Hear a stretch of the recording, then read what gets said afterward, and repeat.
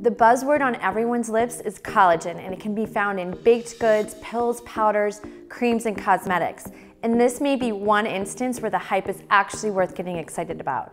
We have more collagen in our body than any other protein, and luckily our body produces collagen on a regular basis.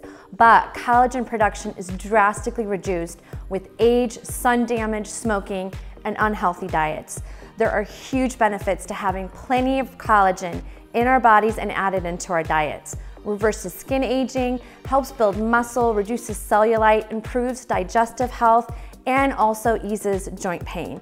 It's easy to add powdered collagen into your smoothies, coffee, tea, juices, and baked goods. You can take a daily pill or you can experiment with bone broth. More collagen? Yes, please.